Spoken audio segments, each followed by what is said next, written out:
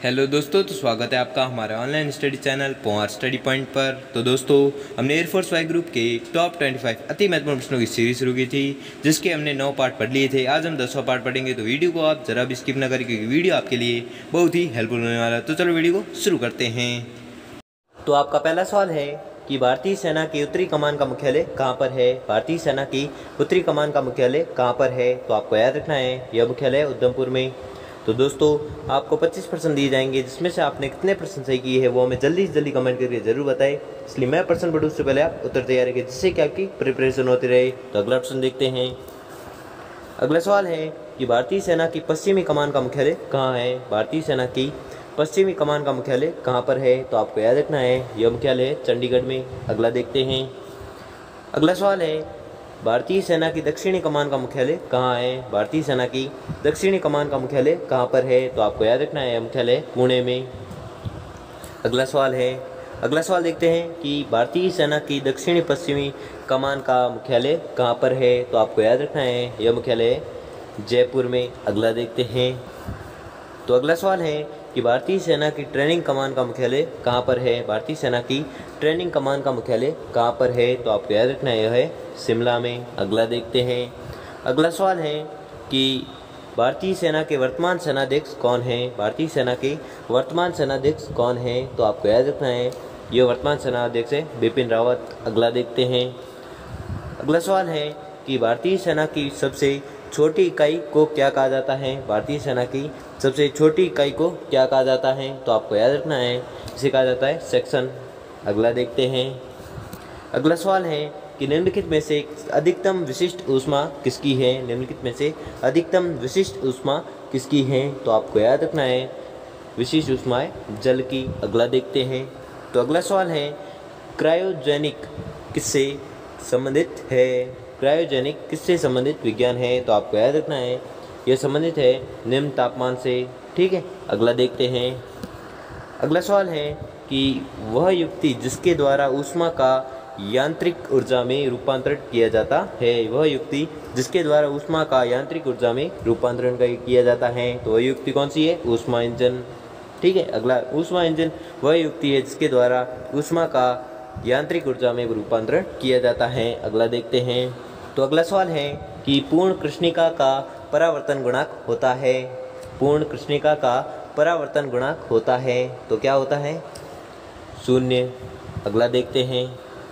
अगला सवाल है कि निम्न में से कौन सबसे मीठी शर्करा है? निम्न में से कौन है जो सबसे मीठी शर्करा है? तो आपको याद रखना है वह है, डी फ्रक्टोस। डी फ्रक्टोस है जो मीठी शर्करा है। अगला देखते हैं।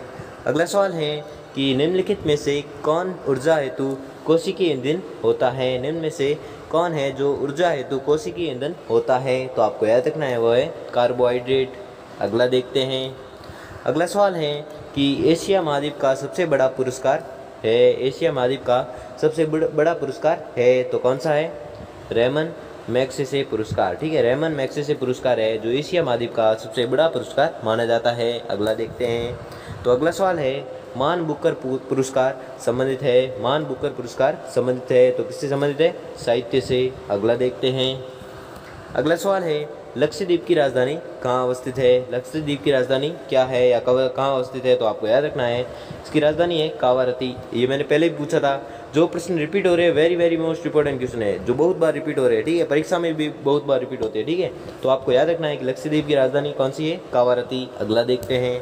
अगला सवाल है कि जापान की मुद्रा का नाम क्या है? तो आपको याद रखना है, उसकी मुद्रा का नाम है येन। अगला देखते हैं। तो अगला सवाल है कि भगवान बुद्ध ने अपना पहला उपदेश कहाँ पर दिया था? भगवान बुद्ध ने अपना पहला उपदेश कहाँ पर दिया था? तो आपको याद रखना है, यह दिया था सारनाथ में। अगला देखते हैं। अगला सवाल है, सांची का स्तूप किसने बनवाया था? सांची का स्तूप किसने बनवाया था? तो आपको याद रखना है, यह बनवाया था अशोक ने। अगला देखते हैं। तो अगला सवाल है कि भारतीय संविधान के अंतर्गत संघ और राज्यों के बीच शक्तियों का विभाजन किसकी प्रेरणा पर आधारित है? भारतीय संविधान के अंतर्गत संघ और राज्यों के बीच शक्तियों का विभाजन किसकी प्रेरणा पर आधारित है? तो आपको याद रखना है, यह प्रेरणा है अमेरिका की। अगला देखते हैं। अगला सवाल है, तराइन का प्रथम युद्ध किस किस के बीच हुआ था? तराइन का प्रथम युद्ध है जो किस किस के बीच हुआ था? तो आपको याद रखना है, यह हुआ था मोहम्मद गौरी और पृथ्वीराज चौहान के बीच हुआ था। अगला देखते हैं। अगला सवाल है कि देश में सर्वाधिक लंबी दूरी तय करने वाली रेलगाड़ी कौन सी है? देश में सर्वाधिक लंबी दूरी तय करने वाली रेलगाड़ी कौन सी है? तो आपको याद रखना है, वह रेलगाड़ी है विवेक एक्सप्रेस। ठीक है, अगला देखते हैं।